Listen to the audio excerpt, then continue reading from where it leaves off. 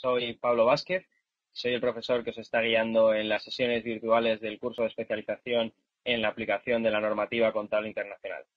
En esta sesión vamos a cubrir el planteamiento del caso práctico del segundo módulo, que es el módulo en el que tratamos la estructura contable y relación de información financiera. Entonces, en este punto, asumo que ya habéis tenido oportunidad de revisar los materiales que se os han facilitado, sobre todo el ebook, que es el, digamos, el documento que contiene la información más detallada, y también asumo que estáis conformes con los conceptos que os hemos explicado. Y si no lo estáis, por favor, tenéis a los tutores a vuestra disposición, que encantados estaremos de solucionar cualquier duda que tengáis. Entonces, eh, después de haber analizado todos los conceptos, seguramente estáis pensando que, bueno, eh, siendo un caso práctico, podemos entrar eh, más en materia práctica clásica de contabilidad, podemos trabajar con algo de la metodología de la NIC número 2 en la contabilización de inventarios, pero al final esos son ejercicios estándar de contabilidad y vamos a intentar valorar que habéis entendido los conocimientos planteándoos una situación real, la aplicación de las jerarquías de la NIF 13,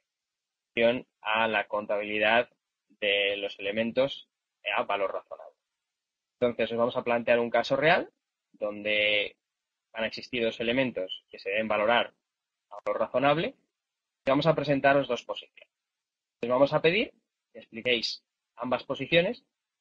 dando en detalle sobre por qué están bien y por qué están mal. Es decir, que os pongáis en la piel del director financiero y que nos contéis por qué pensáis que una opción es válida o no y por qué pensáis que la otra es válida o no. Entonces, eh, en este caso es muy importante y se va a valorar mucho la capacidad de argumentación que tengáis y la sencillez la cual podáis explicar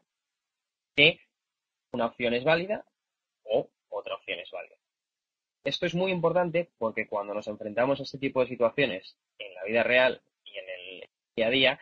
no es simplemente eh, a toda la gente a la que se lo vais a tener que explicar, no es gente que tiene un conocimiento contable excesivo. Vais a tener que ser capaces de explicárselo a la alta gestión del negocio, que seguramente os pregunte por qué valorado este activo de una forma o lo habéis valorado de otra. ¿De acuerdo? Porque el efecto en la cuenta de pérdidas y ganancias y el efecto en el resultado puede ser sustancial.